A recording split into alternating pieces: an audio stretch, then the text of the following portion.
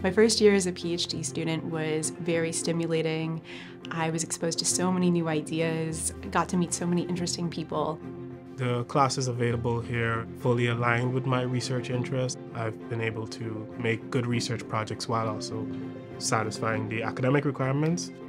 The CSE department offers classes where professors can teach like a topic on which they're like a world expert in. But then there are also programs that support you outside of your academics. Uh, for example, we have this wonderful coaching program. My advisor in my lab helped me really break down research into manageable pieces so that I could start, you know, contributing first on their projects and then building up to having my own ideas and leading my own research projects.